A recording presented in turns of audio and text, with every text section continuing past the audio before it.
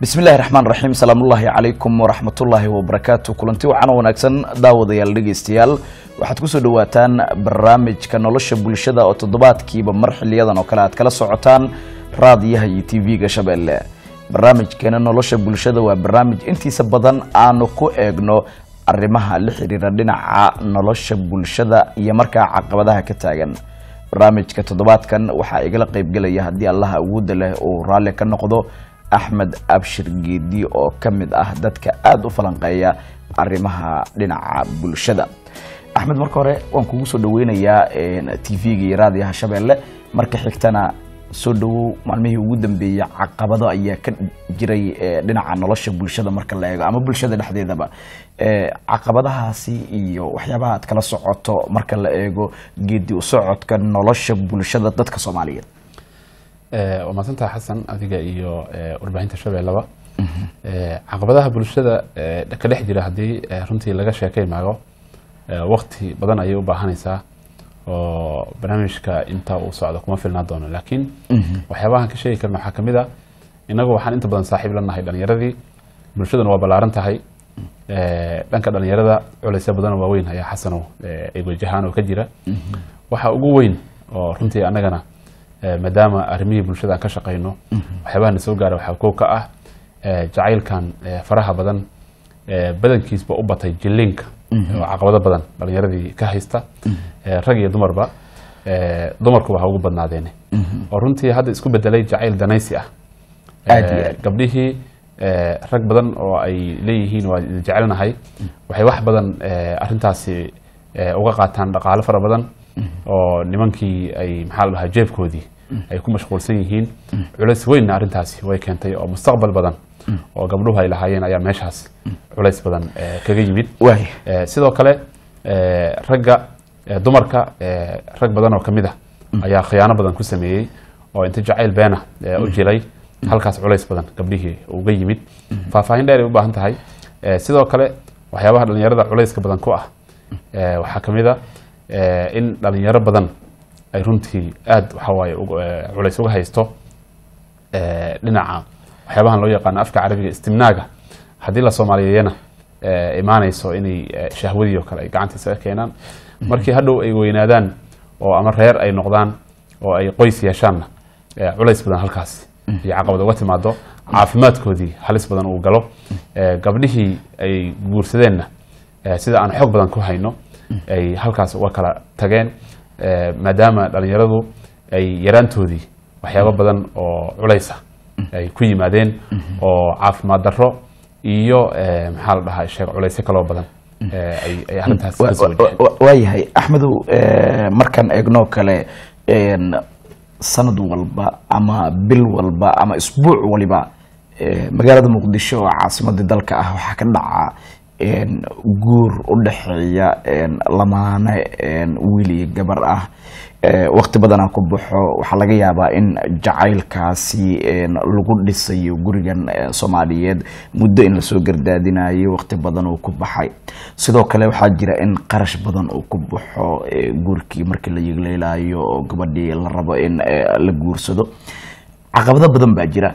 Bal arrimahaas marka la eego kale iyo qoys burburka imaanaya bilooyin kadib iyadoo caqabado badan la soo maray qoyskii wiilka uu ka dhashay lacago fara badan ay bixiyeen jacaylkii labada qof u dhexeeyay muddo uu soo socday. Haddana waxaa laga yaabaa in bilo kooban ama bil gudaheedba in gabadhii la soo furo qoyskii halkaa uu ku burburo wakti badanna la geli. Maxaa keeni kara culaysyadaas xasanow daraasa dhaba in lagu sameeyo u baahan tahay arrimahaas laakiin maadaama arrimihii aan ka shaqaynayno annaga oo gacanta ku hayno waxyaabaha na soo gaara oo dadkii culayskaasi la kulmay ay noo sheegaan waxaa ka mid a in marka ugu horeysaba xiise iyo xamaasad dad badan oo ka mid a ay isku guursadaan. Caqabadaha waxaa ka mid a in aqoon badan aan noo lahayn noloshii qoyska oo la iska galay noloshan una baahan runtii nolol aad in looga fekero wax badan la qiimeeyo u baahan dhalinyaradeenii oo meelay u laabtaan aysan jirin oo waalidkii oo kale aan tashi lala samaynaynin walaalihii waaweynaa aan tashi lala samaynaynin dad kaleo asxaabahoo wanaagsan ama macalimiin wax soo bartay dhalinyaradaas aan tashi lala samaynaynin marka nolosha guurka dhismihiisu dhismo sahlan ma ah Aad sida loo fududaysanayo ma ahan. Eh, xiisahaas iyo xamaaskaas dhalinyaradu ay isku gelayaan ayaa waxaa hadhow ka dhalanaysa in wax badan la isku qabsado. Eh, inta badanna marka ugu horeysa nolol khiyaali ayay dhallinyaradeeni. Ay jiraan. Eh, jacayl been hoon jirna la isku sheegaa.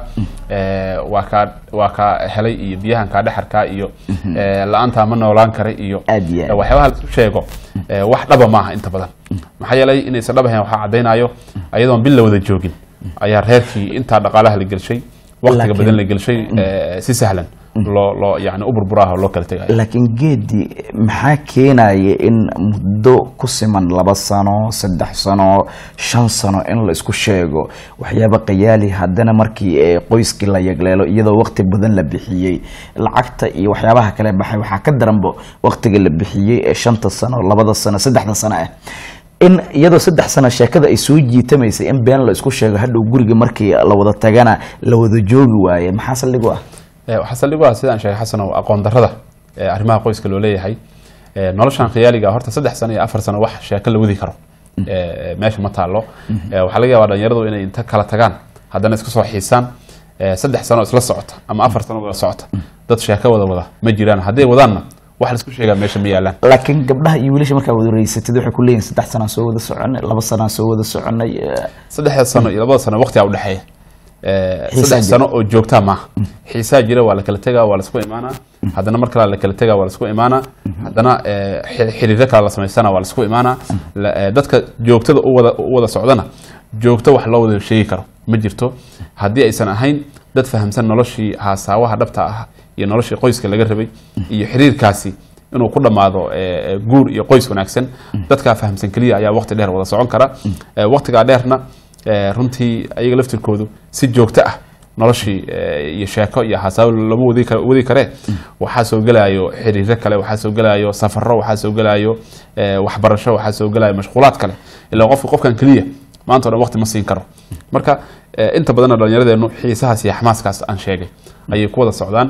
Hadhowna markii eh, nolosha dhabtaa loo tago maadaama aysan soo baran soo daraasayn xogo badan aysan ka helin waalidkii waayo aragga ah aysan la soo sheekaysan walaalihii arrimaha qoyska ugu horreeyay aysan la sheekaysan macallimiintoodii aysan xog ka helin duruus qoys aysan soo qaadan oo soo baran waxaa imaanaysa in noloshii si sahlan loo kala tago. Eh, laga yaabo inta badan dhallinyaradeenu in gabdhuhu ay ragga ay guursanayaan ay eh, ku guursadaan eh, eh, dhaqaale markaas uu haayo. Kuwan dhaqaalaha ku guursanna in ay ku guursadaan duruuf kale oo markii ay ka waayaan meesha ka baxda inay kala tagaan saas reerku. qoysaska qaar ee dhalinyarada ay yagleelaan eh, qaarkood waxaa la yidhahdaa waxaa saldhig u ah burburkooda in fadeexa ay soo wajahdo oo mararka qaar xaalad la isku ogaa ma ahan xaalad kale ay meesha imaato bal qisooyinkaasoo kale haddii aad maqashay ama aad la kulantay ama aad nala wadaagi karto? Eh, culeysyadu xasanow eh, way jiraan bulshada dhexdooda ah gaar ahaan kuwa qoyska. Runtii waxyaaba waxaa jira eh, dadku ay qarsadaan laakiin xanuun badan keenay. aad iyo aad. Hadda ka hor xilligii aan dugsiga sare dhiganayay gaar ahaan fasalka ugu dambeeya ee form fourka eh, fasalka labiyo tobanaad dugsiga sare macalin noo dhigayay maadada tarbiyada ayaa runtii wuxuu nooga sheekeeyey qiso aad u xanuun badnayd. Eh, markastoon soo xasuusta macalinkaasna qisadii aan soo xasuustaa. Markastoo arrimaha qoyska aan ka sheekeeyo ama aan ka hadalnana qisadaasi raad gaar ah ayay eh, runtii igu yeelatay. Waana Waa qiso qoys burburisay. waana qiso qoys burburisay. Wax badanna runtii eh, qoysas badan ku dhacday oo si hoose dadku ayay u sheekaystaan laakiin si guud maanta ka hor dad uga sheekayna ma arkin. Macalinkuna sababta uu qisada u keenay gabdhahaan ugu badnaa fasalka. Gabdhahu arrinta eh, ugu talagalay digniinna kuwaana digniinna uu Eh, qisada waxay ahayd macalinku wuxuu deganaa xaafadda waxaa racday magaalada muqdisho maado tarbiyaha noo dhigayay gabar markaa la soo guursaday oo xaafadooda agtooda la soo dejiyey oo daris la ahayd ayaa habeenkii xilli dambe wuxuu arkay waxay maqleen. Isaga iyo xaaskii iyo caruurtii soo kacay iyo dariskii oo dhan ayaa soo wada baxay. Waxayna maqleen dagaal gurigii cusbaa oo Caawaba la soo xerogeliyey gabadhii eh, dagaal ka socda habeenkii koowaadba oo wiilkii iyo gabadhii ayaa is haysta. Eh, markii ay banaanka u soo baxeenna macalinku wuxuu noo sheegay wareer cawo waa loo waabariistaahay in bal subaxii ay xaaladda eh, si fiican u ogaadaan. Xilli dambe ay ahayd way seexdeen. Markay seexdeenna subaxii waxay ogaadeen macalinkii iyo dadkii dariska kulli in gabadhii eh, aroosada ahayd iyo ninkii ay isdagaalayeen. Waxyaabaha isku dagaalayeenna wuxuu noo sheegay macalinku inay ahayd waxyaabo gabadha uu ka filaayay uu ka waayay oo tusaale ahaan gabadhu eh, lacag badan oo ninka ka bixiyey waxyaabaha ninkan dagaalka geliyey oo fajicisada ku abuurtana waa dhaqaalihii faraha badnaa iyo gabadhan eh, waxyaabaha uu kala kulmay. Markii hore gabarnimo ku soo guursaday meeshana gabarnimadii ayuu ayuu ayuu ka waayey. Eh, marka eh, macalinku wuxuu eh, qisada u dhigay eh, gabdhaha inuu uu kuwaana ay kuwaana qaataan. Ninkii gabadhii eh, uu xamili waayey uu ishayn waayey dagaalaa meeshii ka dhacay. Markii dambena wuxuu noo sheegay macalinku in reerkii laiskula tegay oo boorsadii gabadhii uu eh, maxaa la dhahaa sheeg uu u qaaday. Kadibna reerkii ninkii uu gar u dhigtay uu yidhi waxaan u baahanahay eh, eh, dhaqaalihii iga baxay. Gabadhaana sida aan malaynayay iyo wixii aan ka filanayay kama aanan helin. Way ii qarisay inaysan gabar ahayn. Gabarnimaana ku guursaday. Halkaa marka reerkii markay ku ogaadeen fadeexa ku timid meeshii. Gabadhii ninkiina waxaa lagu qasbanaaday sida macalinku sheegay noo sheegay qisada. Oo macalinka aan ka warinay goobjooga u ahaa in maxaa la dhahaa lacagtii ninkii loo celiyo oo maadaama gabadhii reerkuba ay gabarnimo ku ogaayeen in lacagtii loo celsho halkaasna ay culays badan ay arrintii eh, ku timid. Gabdho badan oo soomaaliyeed oo mustaqbalkoodii eh, eh, si sahlan ay ku baabi'eenna oo arrimo jacayl been inta loo jilay oo raggu ay sabab u yihiin arrimahaasna way jiraan oo gabdho badan oo ooya ahaa jira kuwa anaga nala soo xiriiray ayaa jira. Waxaan xasuustaa hadda ka hor intii aan guulisamo ka shaqaynaynay gabar kuliyadda caafimaadka dhiganaysay mid ka mid a jaamacadaha muqdisho ayaa nala soo xiriirtay. Weliba aniga si gaara eh, iisoo iisoo wacday gabadhii culays badanaa haystay walwal badanaa ku furnaa waxay xamili weysay culayska iyo iyo caqabadda arrintaas ay ku timid yani ayay xamili weysay gabadhii. Talayna soo weydiinaysa marka inay nala tashato. Maxaa yeele waa culays mustaqbalkeedii baabi'iyey reerkeediina waa u weysay asxaabteedii kalena way kala soo way kala soo carartay maadaama arrimaha qoyskii aan aada uga shaqayno inay ku nafisto xaruntan ayay ugu talagashay gabadhii. Eh, arrintii markay noo sheegtana in mustaqbalkeedii uu baaba'ay. Weliba gabadhaas gabdhaha inta badan waxaan dhahnaa waalidiinta in la sheekaysa saaxiib la noqda.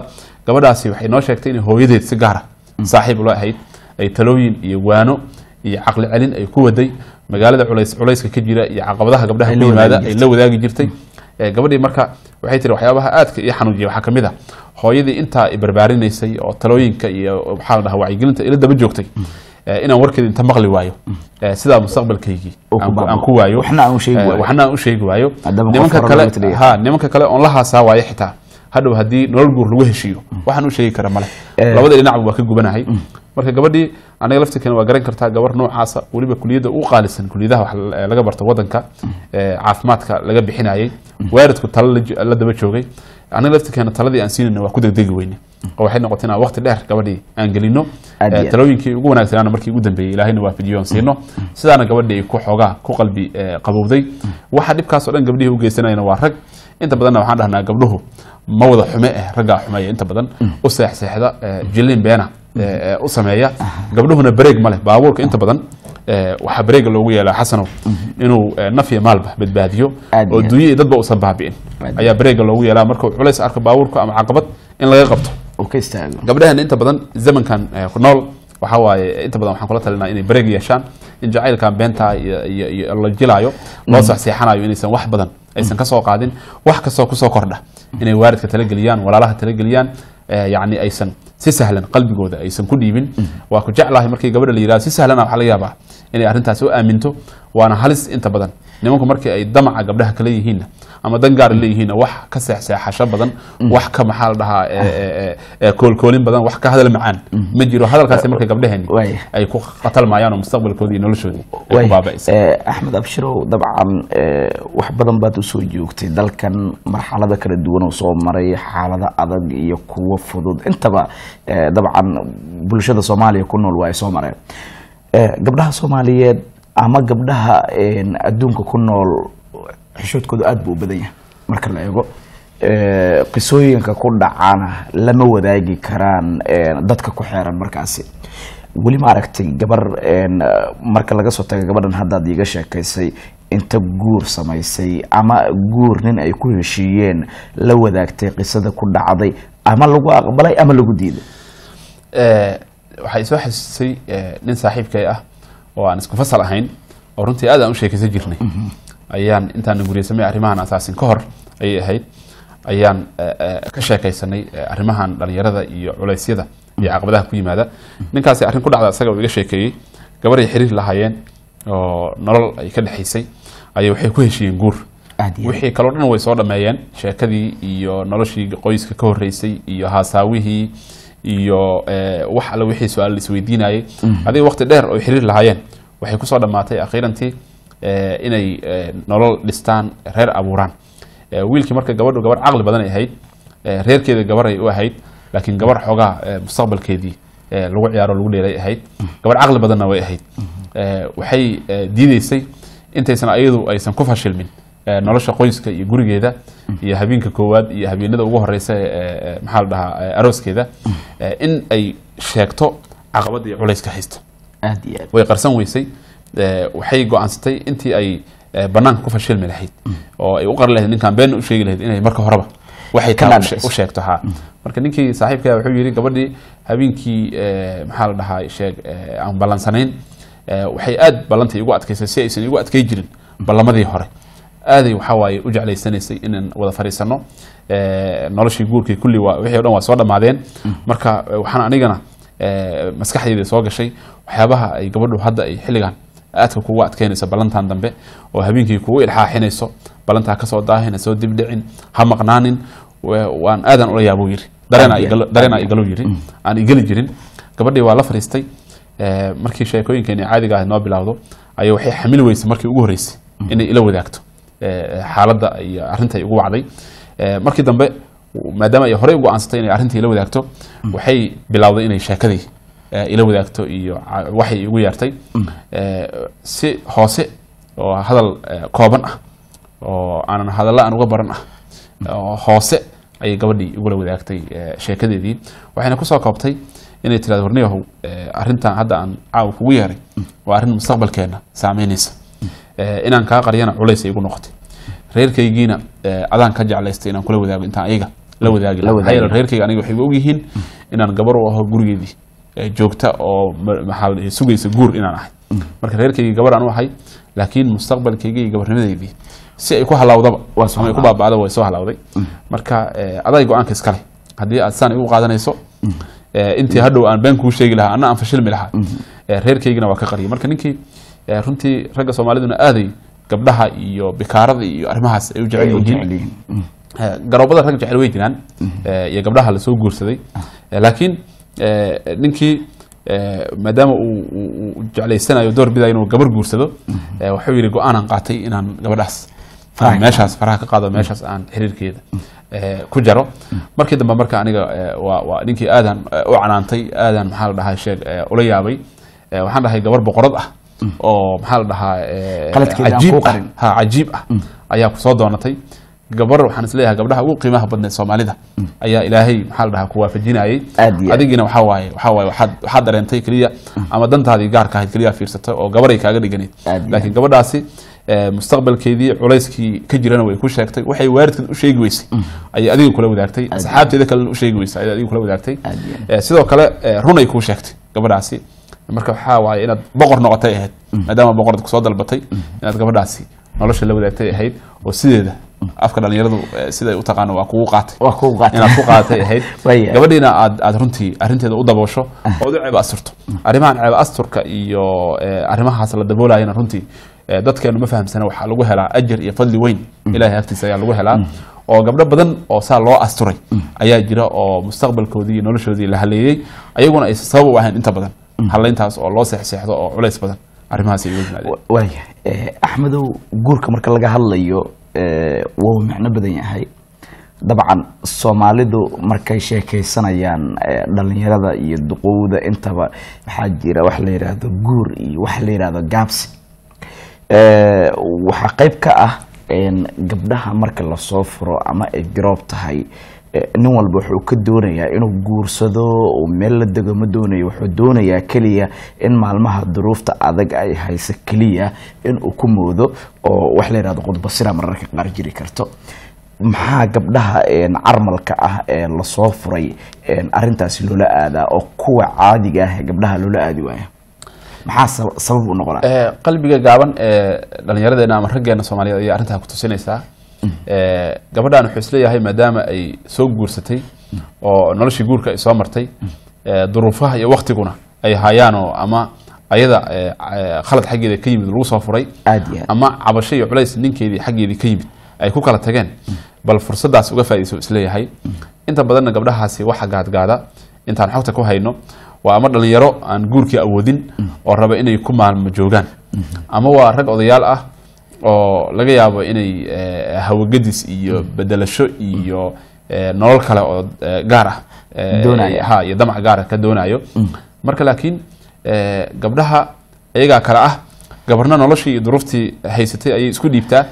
Gabarina waxay aaminsan tahay inay gabdhaha caadigaaba ay ka qiimo badan tahay ama la mid tahay ayay aamintaa.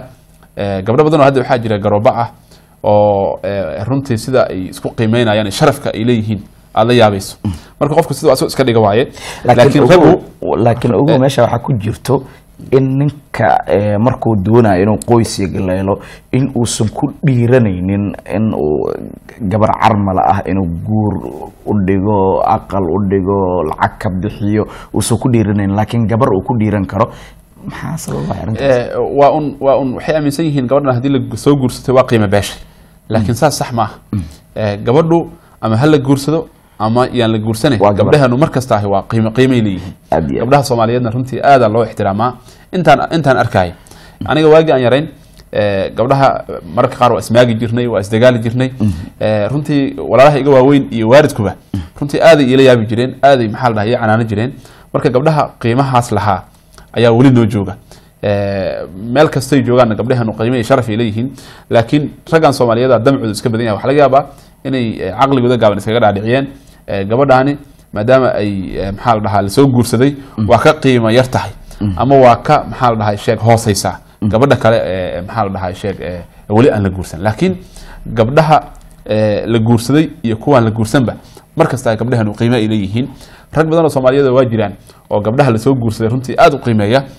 Bale mararka qaar gabdhaha caadiga ah weli aan la soo guursan ka jecel oo waxyaabaha ay u quurayaan ay u hurayaan aad la yaabayso sida ay ula haasaawayaan ay u koolkoolinayaan oo u jeclaysanayaan aad la yaabayso ayaa jira.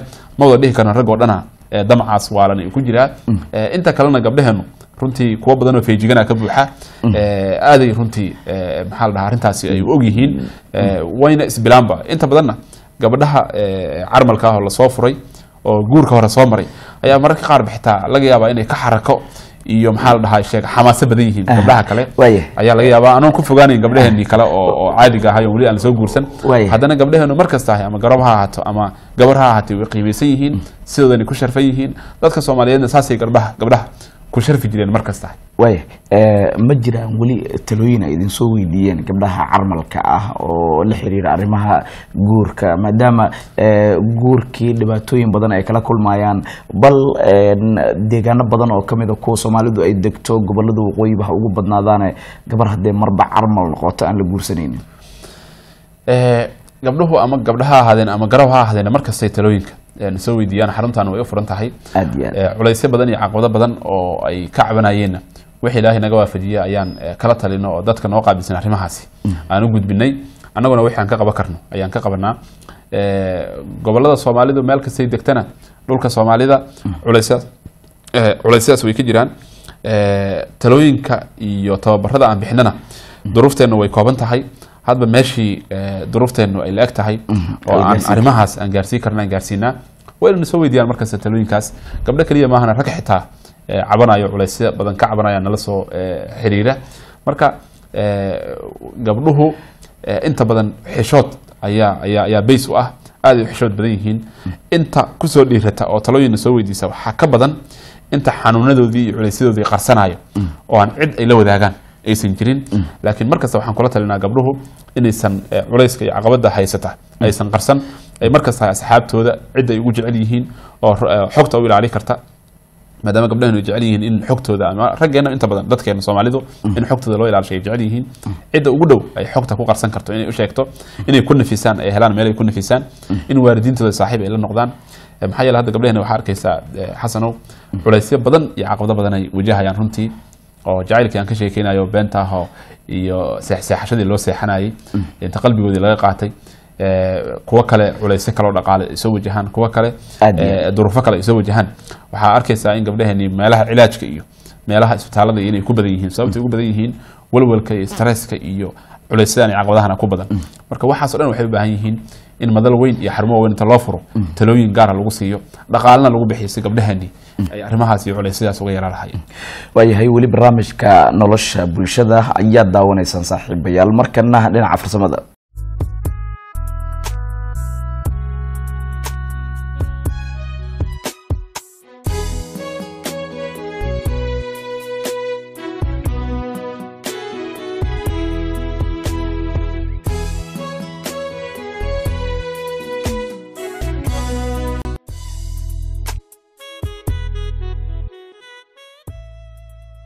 waa hagaag.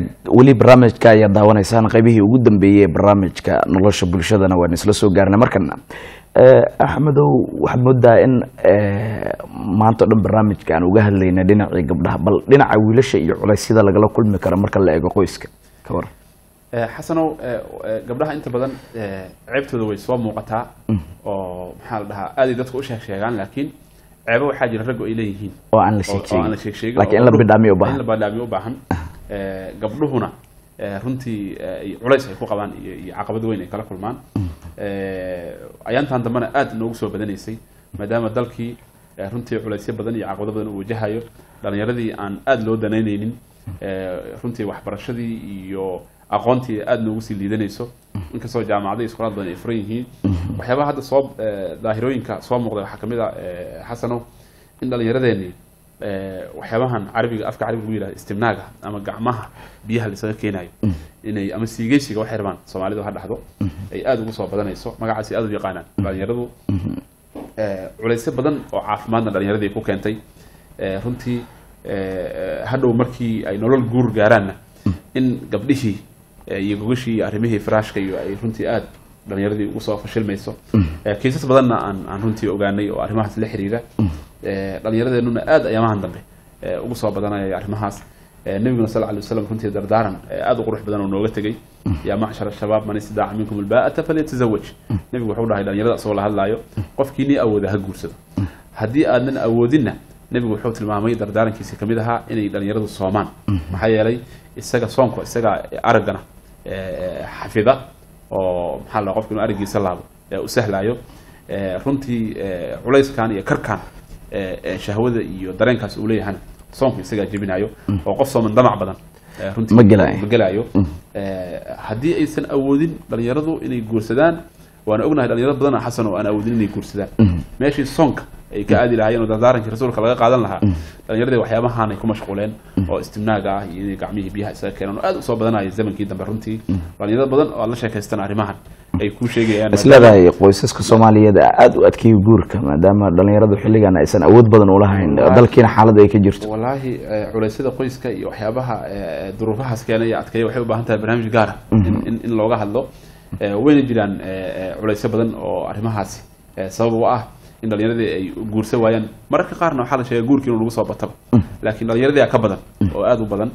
Eh, marka arrintaas culeys badan ay keentay. waxaan rabaa waxaana waxaana arkaysaa in dhalinyaro badan inta guursadeen ee arrimahaasi ay ay fashilkaasi ku dhacay. Dadka ilaahay subxana watacaala xasan oo sheegay eh, inay liibaaneen muminiinta liibaaneen wuxuu ku tilmaamay eh, kuwa eh, salaada ku khushuuca iyo kuwa furuushtooda eh, xafida. Eh, qofku marka wuxuu shahwada isaga keeni karaa un intii loogu talagalay inuu xaasas leeyahay iyo inuu maxaa la dhahaa addoommo u joogaan addoommana hadda xilligan Lama helo. Eh, lama helo. Marka waxaa waaye in qofku uu shahwadii meesha ilaahay u talagalay uu ku guto ayaa ayaa ilaahay tilmaamay. Nebiguna wuxuu noo sheegay oo ilaahay u waxyoodo ilaa waxa rasuulku sheegay wax ilaahay u waxyoodo waaye in dhalinyarada dardaaranka qiimaha badan uga tega. Aan soo sheegnay haddii aysan awoodi karin guurka inay maxay hayto eh, ay maxaa la dhahaa soomaan. Awliyaa umuurkan ilaahay subxana watacaala waa iyadii la hadlo u guuriya ilaahay uu leeyahay waankixu ayaama minkum wasaalixiina min cibaadikum wa imaa'ikum in yakunuu fuqara'a yuqnihim allahu min fadlih Eh, ilaahay subxana watacaala isagaa deeqaaya oo kaydkiisa iyo fadligiisa iyo khazaa'intiisa ka deeqaaya ee dhalinyarada fuqarada ah awliyaa umuurka u guuriya ilaaha amar. Ayuu ayuu ayuu siinaya dadka ah eh, waa soo gabagabayneynaa barnaamijka qaybtii ugu dambeysay ayaan maraynaa iyo su'aasha ugu dambeysaan ku weydiin doonaa. Axmedow dhibaatooyinka ugu badan waxaa la tilmaamaa gabdhaha ku dhaca in ay raggu geystaan. Si walbaba ha u dhacaan laakiin soo lama dhihi karo dumarka iyo waalidiintaba qeyb bay ku leeyihiin. Sababtoo ah in gabadhii layidha gabadhii ay tiraahdo ninkii ay xujiyso ay tiraahdo lacag intaas la-eg baan u baahanahay dahab intaas la-eg baan u baahanahay qoyskayga inaad intaas u geysid baan u baahanahay arooskayga inaad intaas ka dhigtaan u baahanahay. Markay tiraahdo oo ninkii raggaana uusan awoodin waddooyinka kale oo ku dhaqaaqayo soo lama dhihi karo dumarkuba qeyb ka qaadanayeen qoysaska soomaaliyeed Eh, waa arrin meesha ku jirta oo muhiim ah. Eh, haddii guurkii la adkeeyo oo gabdhihii gabar kasta ay ku daysato midii ayada eh, Ka ka horreysay. Ama eh, wiilkaasi ka horreeyay guurka ha awoodo ama ha loo soo qaaraamo. Haddii ay ku daysato culays badanaa meesha ka imaanayo Eh, gabdhaha inta badan runtii waa qalbi jilicsan yihiin. Wixii lagula heshiiyena iyo wixii laga dhaadhiciyana ma diidaan. Laakiin waayahan dambe way jirtaa culayskaasi caqabadaas. In gabdhihii isku daysadaan in guurkii lagu tartamo gabarba gabadha ay ka dhaqaalo badan tahay inay ku daysato. Weliba gabdhihii ayagoon fiirinayn xasano wiilkan ay sheeka wadaaga yihiin wiil noocee waaye? Dadkiisa iyo ehelkiisa. Eh, duruuf noocay ku nool yihiin. Eh, marka inay miisaantaha la rabaa waxaa laga yaabaa ninka taajirka ah ilmaha u dhalay sida uu ilmihiisa ugu guurinayo oo uu shaqadii iyo noloshii iyo kulli uu u siinayo in gabadhan wiilka faqiirkaa la socota. Inuusan u sii karin way muuqataa. Marka inay ku miisaanta ma aha. Gabdhaha inta badan waa u sheegnaa eh, gabar kasta ay wiilka ay sheeka wadaagga la tahay oo ay danta dhabta ah ama duruufta dhabta ah iskula socdaan ha qiimayso ha ha xaaladdu ku sugan yahay. haddii wiilkaani reerkiisa uu dhaqaale fiican heli karo uu shaqo fiican heli karo waxay la tahay gabar uu danaynayo waxba kama hakradeen laakiin waxaa ayaan darro ah oo maalmahan dambe aad u soo badanaya in gabdhihii ay gabadhihii ka horreeyay isku miisaamayaan oo aysan u fiirinayn wiilkan iyo reerkiisa iyo duruufta ay ku nool yihiin. In gabadhii wixii loo dhigay iyo sidii loo guursaday gabadhii eh, wiilka taajirka guursanaysay inay gabadhii kale wiilka miskiinka faqiirka la socotay. Inay sidii oo kale in loo yaalla inay rabto. Waa eh, runtii culays badan waana ayaan darro. Gabar kasta iyo guri kastana waxaa la rabaa inuu eh, duruuftiisa iyo noloshiisa asagu asagaa oge inuu maaraysto adiga qofkaan aad isku jimeynayso wax kaa qosaya male wax kaa galana male inkastoo gabdhaheen way jecel yihiin nolol wanaagsan. Haddana nolosha wanaagsani eh, xasanow meel hoosey ka bilaabataa kadib ay wanaagsanaataa Eh, waxaa arkaysaa magaaladan muqdishaan ku nool nahay dadka dabaqyada ugu badan iyo dhaqaalaha ugu badan haystahay. Markay magaaladan soo galayeen taariikhdooda markii dib loo fiirsho waxaa laga yaabaa nin boqol dollar haysta inuusan jirin. Eh, haddana maanta waa kaasa marka ilaahay subxaana watacaala isagaa irsaaqada bixiya in allaha yabsudu risqa liman yashaa wayaqdir qofka uu doonana ilahay waa ku ciriiriya qofka uu doonana u waasiciya guurkuna isagaaba nolosha iyo irsaaqada iyo kulli wanaagsan wata. Marka dad badan oo eh, ay jira xasanow oo markay guursanayeen duruuf adag ku guursaday maantana eh, milyaneer oo taajiriin ah. Eh, maxaa la dhahaa dad badan oo duruuf wanaagsan ku soo koray oo nolol wanaagsan haystay oo guurko guurkooda iyo reerkooda loo kala kiciyey ayaa jira oo iyo waayuhu ay runtii saa- eh, eh, saacideen maantana nolol hoose eh, eh, ku nool marka in waxaas dhan la qiimeeyaa la rabaa oo la fududeeyo oo la fududeeyo guurka. Oo gabdhuhuna ay fahmaan. Cidda ay she- sheeko wadaagga yihiin duruuftooda iyo iyo awoodooda inay fahmaan. Waayahay aad iyo aad baad umahadsan tahay. Waxa uu ahaa axmed abshir geedi oo igala qeybgelayay barnaamijka nolosha bulshada toddobaadkana martii ugu ahaa. Guud ahaan saaxiibayaal halka ayaan ku soo gabagabaynayaa barnaamijkii nolosha bulshada. Intaan dib dambe u kulmi doono. Nabadgelyo